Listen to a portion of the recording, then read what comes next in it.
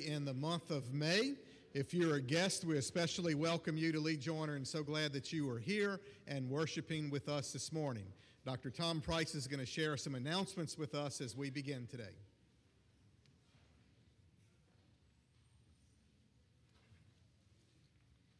Good morning.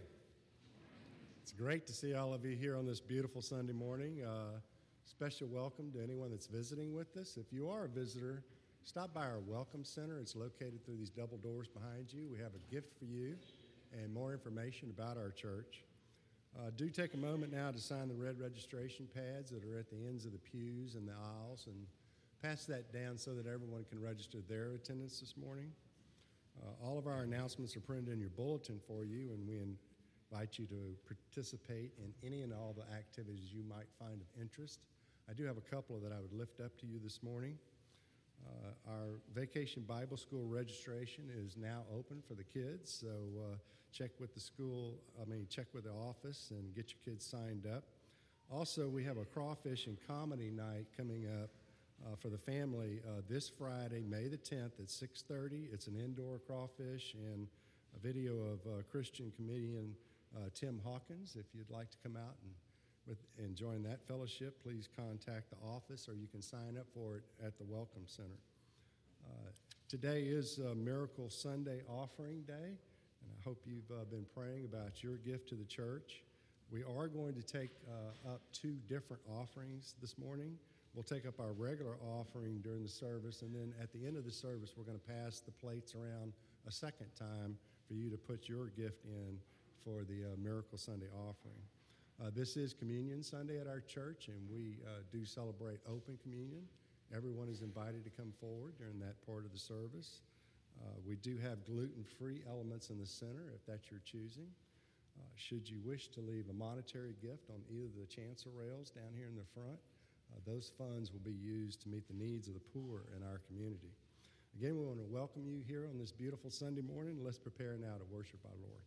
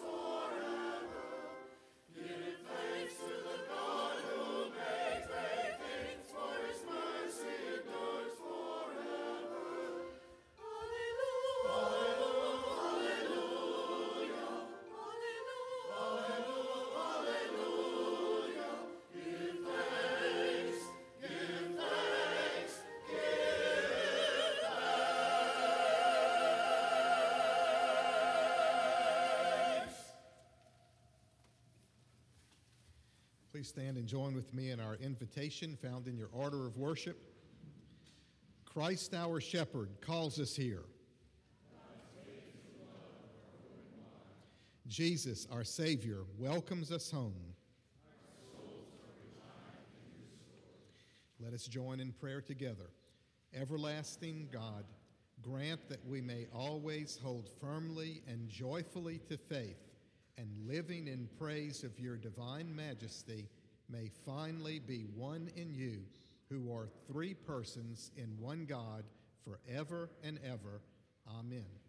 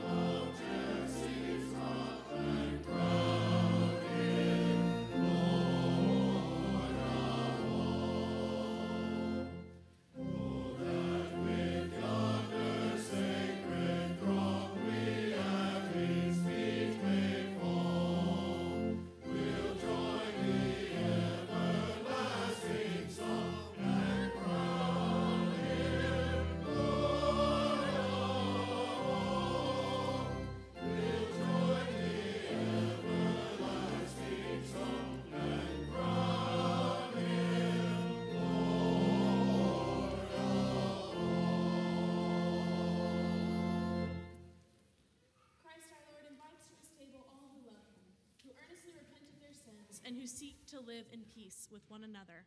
Therefore, let us confess our sin before God and one another. Merciful God, we confess that we have not loved you with our whole heart. We have failed to be an obedient church. We have not done your will. We have broken your law. We have rebelled against your love. We have not loved our neighbors, and we have not heard the cry of the needy. Forgive us, we pray.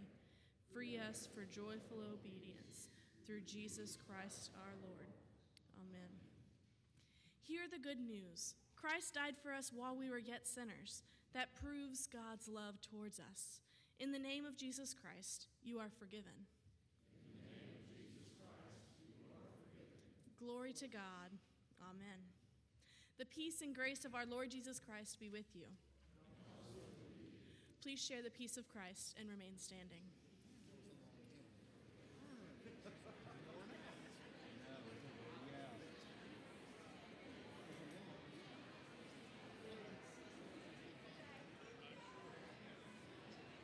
Well, when we got to that, we got to the guard to where it's like this big first board. I was like, should I stop? And it didn't say it. Hit me again on that.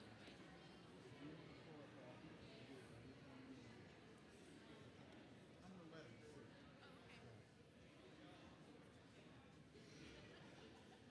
You may remain seated. Our hymn is Come Thou Fount of Every Blessing, number 400.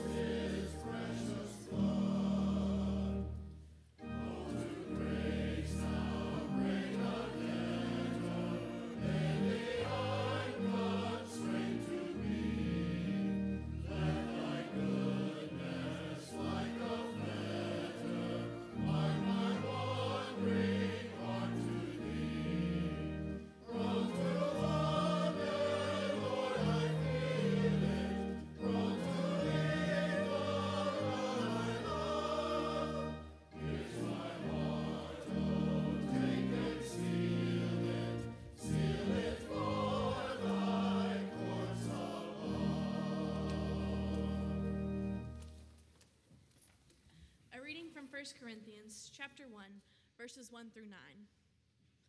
Paul, called to be an apostle of Christ Jesus and by the will of God, and our brother Sosthenes, to the church of God in Corinth, to those sanctified in Christ Jesus and called to be his people, together with all those who call on the name of our Lord Jesus Christ, their Lord and ours.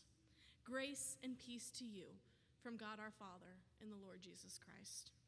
I always thank my God for you because of his grace that he's given you in Christ Jesus. For in him you have been enriched in every way, with all kinds of speech and with all knowledge. God thus confirming our testimony about Christ among you.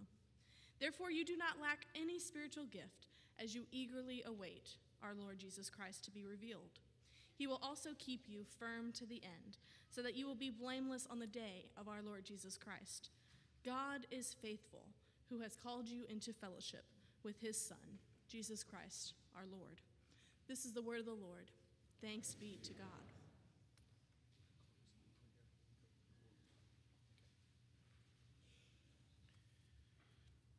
The most famous person in Christian history, aside from Jesus, is the Apostle Paul, who wrote most of the New Testament through letters to the various churches, including our scripture reading for today that begins with these words To the church of God in Corinth.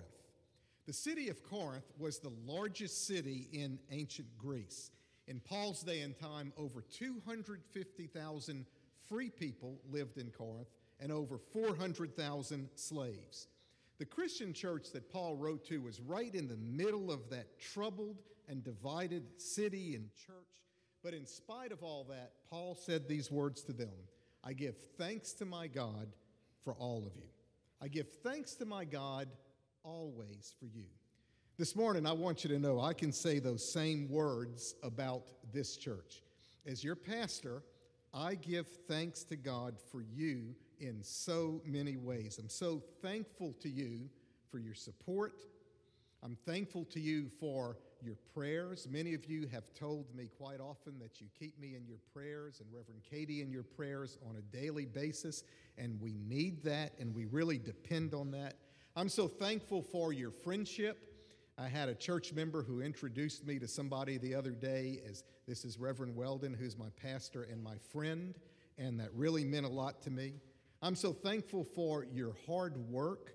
So many people spend countless hours up here at the church doing all kind of things, and I appreciate the hard work that you do for the church.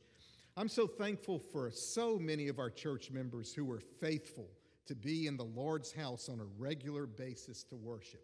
I had a nightmare a few months ago that the bishop came to visit church on a Sunday morning and only 25 people were here had three or four over here and three or four over here and two or three up in the balcony.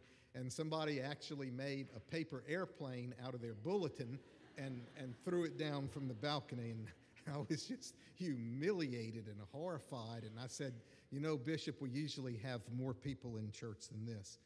I'm so grateful for your generosity, which enables us to be in mission outreach in this community and all around the world.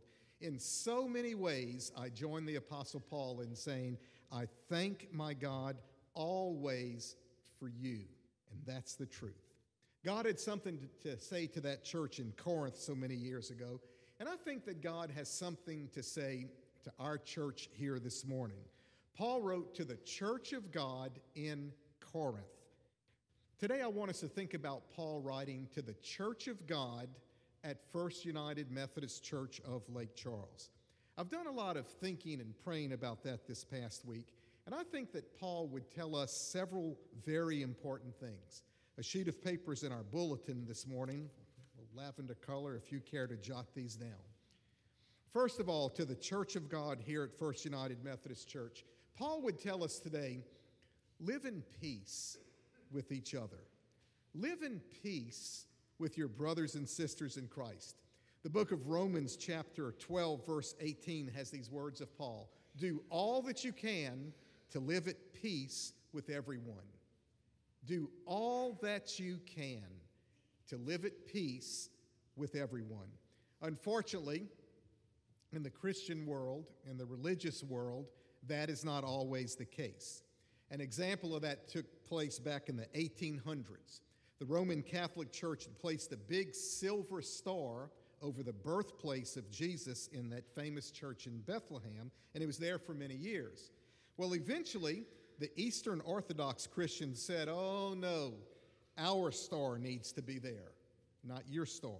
And the Catholics said, No way, it's our star, and it's staying there. Well, the Eastern Orthodox Church was backed by Russia, the Catholics were backed by France, Turkey had control over Palestine. They sided with France. And so, because of this, Russia declared war on Turkey. Great Britain, France, and Italy sided with Turkey, and for three years, an actual war took place. Two years after the war was over, the big silver star was taken down for good.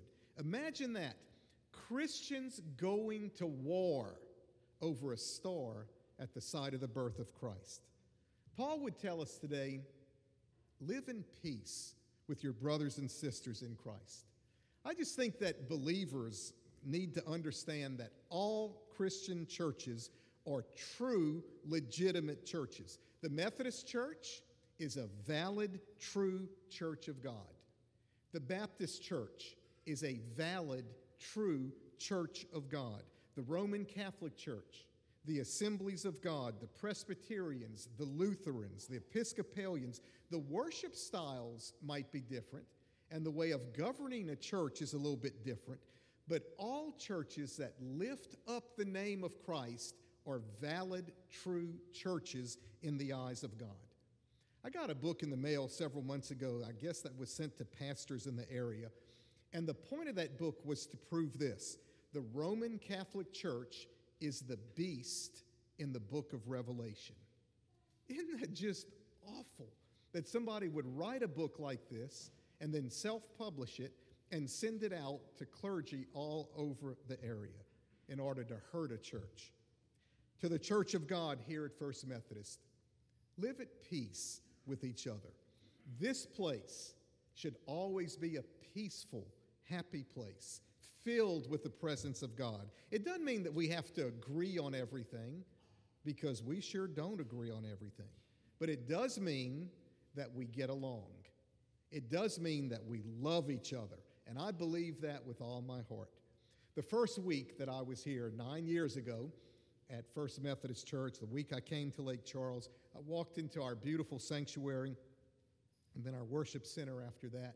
And I knelt down at the altar of the church and I asked for God's blessings upon this church and upon my ministry here. And as I finished that prayer, I want you to know I felt the peace of God right here in this sanctuary. And I still feel that peace. Every time I come in here, I feel the peace of Almighty God. That's the way it always should be. Live in peace with each other.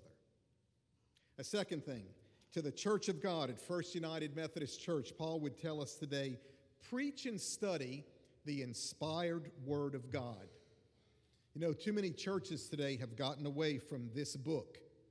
Too many churches today have de emphasized this book. And that's why those churches are dying. So many preachers today preach about social issues and problems and politics and not the Word of God. Paul wrote in 2 Timothy chapter 4 verse 2, preach the word, he said. Be prepared in season and out of season. Preach the word of God. In this church every Sunday morning, the Bible should be read and it should be preached.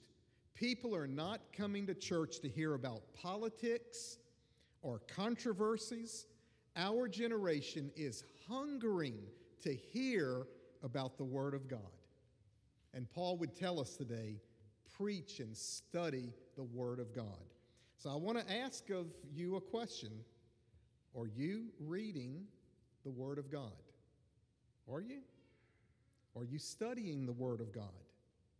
Churches today that are growing and vital churches are churches that preach and study the Bible. Number three, to the Church of God at First Methodist, Paul would tell us today don't ever forget your purpose as a church. Don't forget who you are and why I've called you to be the church, and that's to bring lost people to Jesus Christ. That's our purpose. That's who we are. That's why we're here. That's what we're all about bringing lost people to the Lord. I like the story about our friend Boudreaux. He was in Philadelphia for some reason, and he wanted to go to Boston. So he went around the airport with his ticket. He was scheduled to leave at 2:20 p.m. and he was early, a little bit early, so he started walking around the terminal. As he was walking around the airport, he was killing time, a lot of time, and he came across a big machine that had a weight on it and offered to tell your fortune. He couldn't resist. He put a coin in the machine, and here came his fortune. Your name is Boudreaux. You weigh 188 pounds, and you're going to catch the 220 flight to Boston. All that information was correct. Boudreaux was quite puzzled. He thought it was a trick. So he stepped aside for a few minutes. Then he stepped back on the scales again, put in another coin, and out came the fortune once again. Your name is still Boudreaux and you still weigh 188 pounds and you're still going to catch the 220 flight to Boston. Well, he was completely puzzled at this. He had to find out who was playing games with him. So he went to the restroom. He completely changed his clothes. That took a little while to do this. changed his clothes, but that's what he did. He came back to the scales, he stood on them once again, he put the coin in it, and out came his fortune. Your name is still Boudreaux. You still weigh 188 pounds, but you have missed the 220 flight to Boston. it's so important for us as a church to not miss the flight.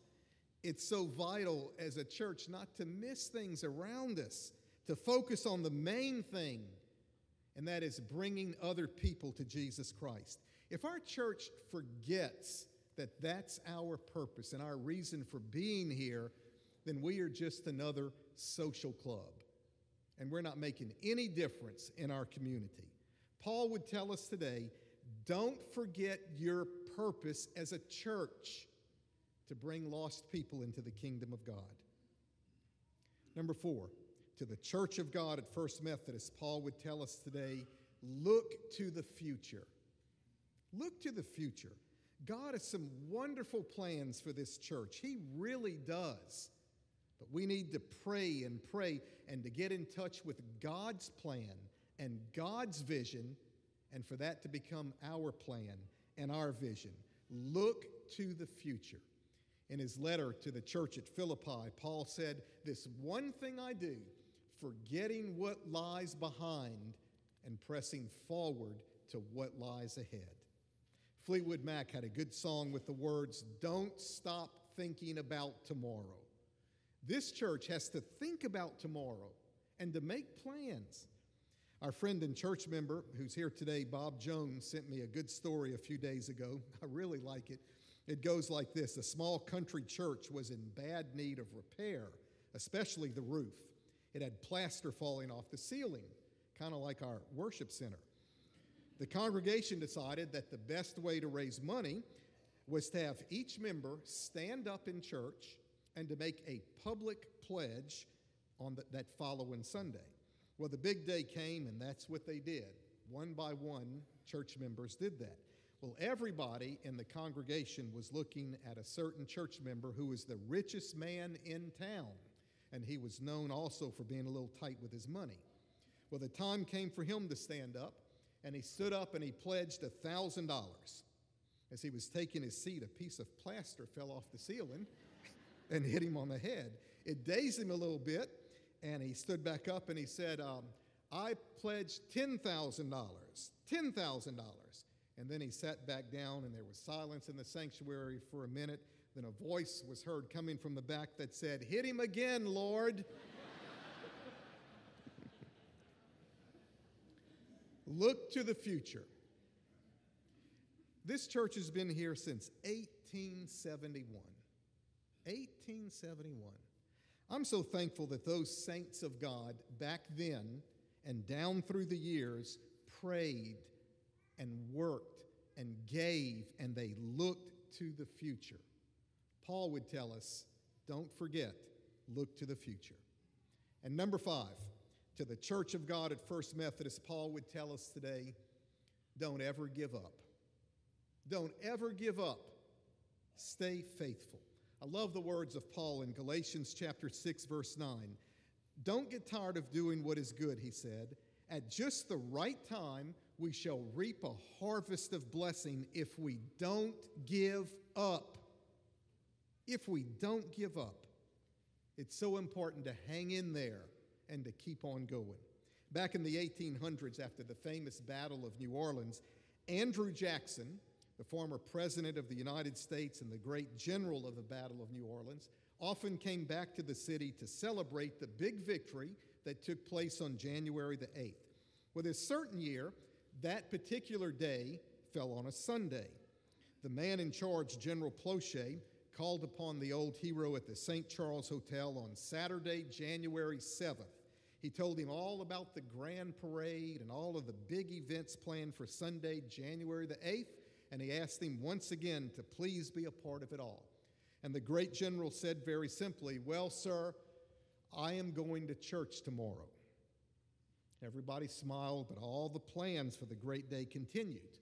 And on Sunday at 10 o'clock, General Plauché came to the hotel and he told Andrew Jackson that everything for the parade was getting ready to start. Everybody was waiting on him. Old Hickory smiled and he said, General Plauché, I told you yesterday that I'm going to church today. And they all backed down and said, We should have known better. And the great celebration was pushed back until Monday, the following day. I really like that story. If only Christians today would honor the church like that, if only Christians today would honor Christ like that and stand up for the faith and the Lord and the church in all that we do. I want us to hear this word from God today stay faithful. Don't ever give up. You know, so many people in our culture today are not in church anywhere, but don't give up. So many kids in our culture today are turning to alcohol and to drugs, but don't give up. There's racism and hatred and violence out there, but don't give up. For this reason, Jesus Christ is alive. And some great day, he's coming back to make everything right. Some great day, he's coming back for a day of judgment. And the scripture says, on that day, every knee shall bow and every tongue shall proclaim that Jesus Christ is Lord. And so Paul would say, look forward to that day and don't give up.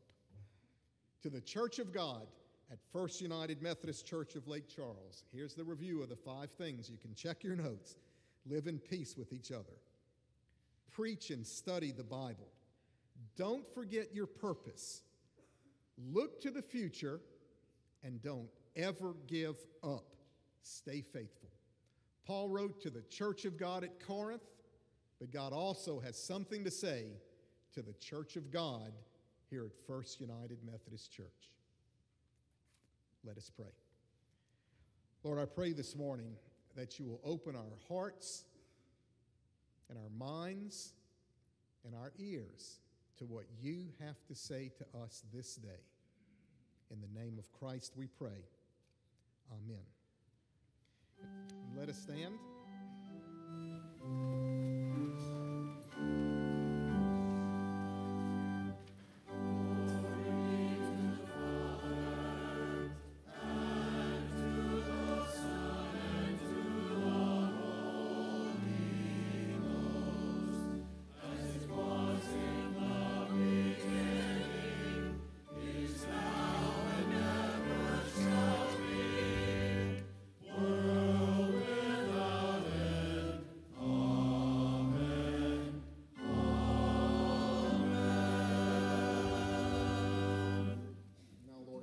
Offering to the work of your kingdom here and all around the world.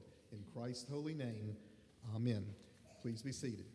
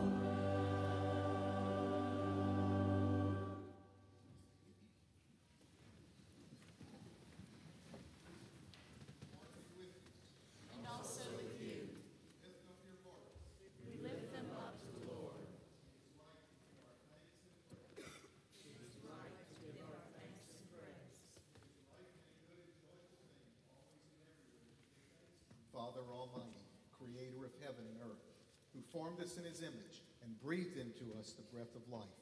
And so, with your people on earth and all the company of heaven, we praise your name and join their unending hymn.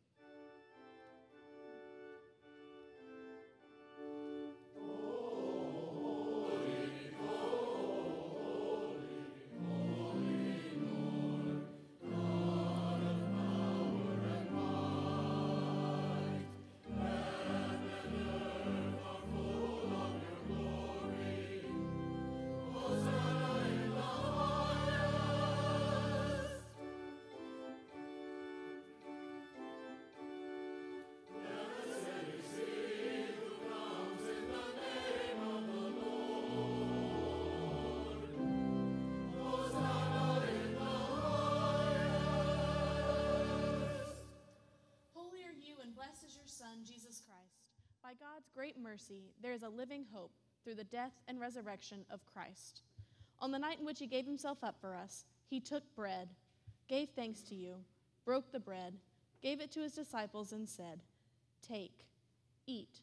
This is my body, which is given for you. Do this in remembrance of me. When the supper was over, he took the cup, gave thanks to you, gave it to his disciples, and said, Drink from this, all of you.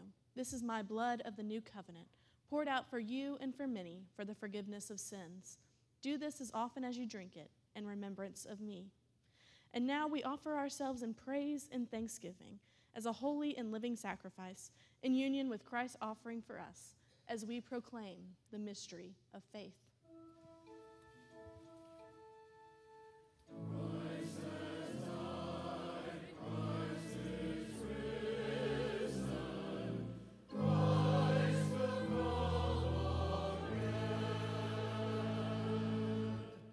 Out your Holy Spirit on us gathered here and on these gifts of bread and wine, the body and the blood of Christ.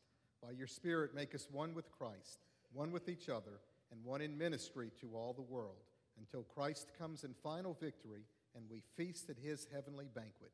Through your Son, Jesus Christ, with the Holy Spirit in your holy church, all honor and glory is yours, Almighty Father, now and forever.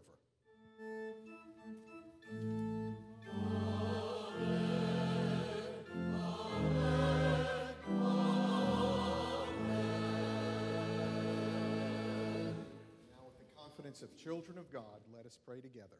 Our Father, who art in heaven, hallowed be thy name. Thy kingdom come, Thine will be done on earth as it is in heaven. Give us this day our daily bread, and forgive us our trespasses, as we forgive those who trespass against us. And lead us not into temptation, but deliver us from evil. For thine is the kingdom, and the power, and the glory forever. Amen. The Lord's table is now prepared, and the invitation to Holy Communion is for everybody in the sanctuary today. You don't have to be a member of this church or of any church in the United Methodist Church. We celebrate an open communion, which means anyone who would like to participate is invited to do so. I'm going to ask those who are serving to please come first and then invite you to come as the ushers direct following the choir.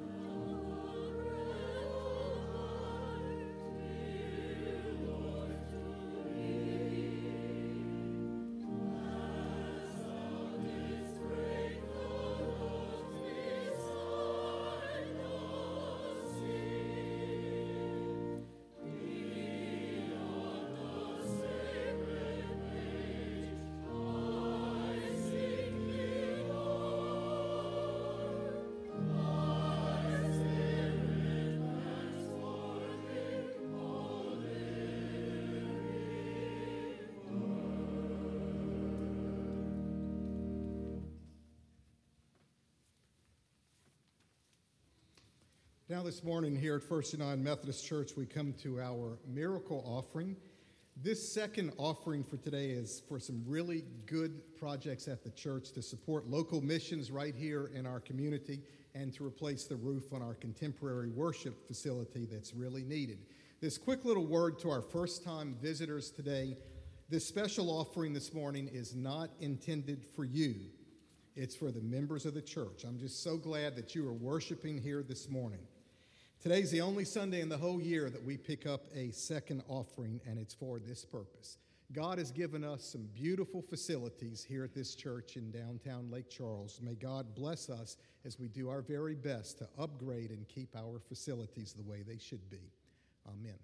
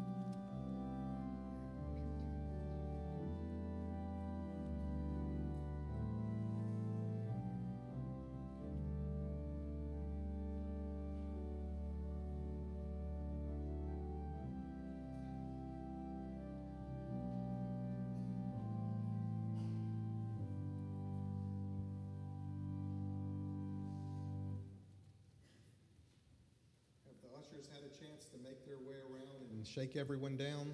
okay. Our closing hymn this morning is number 295 in the Cross of Christ I Glory.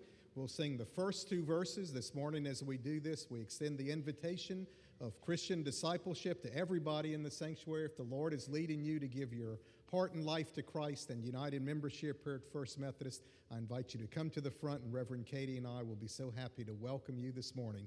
Number 295, verses 1 and 2. Let us stand.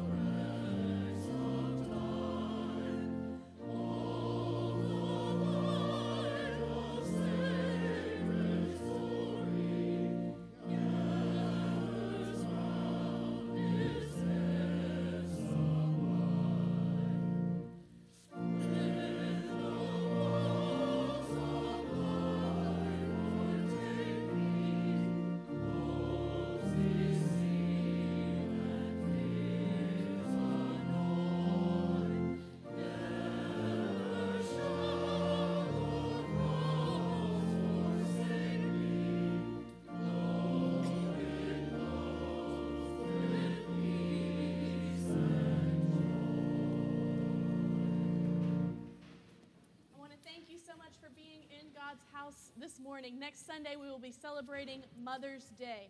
As you go forth from this place, you have heard what Paul has said to the church of Corinth and what Paul would say to our church. As you leave this place, What will you say of Christ to those that you meet? Go now in peace in the name of the Father, and the Son, and the Holy Spirit. Amen.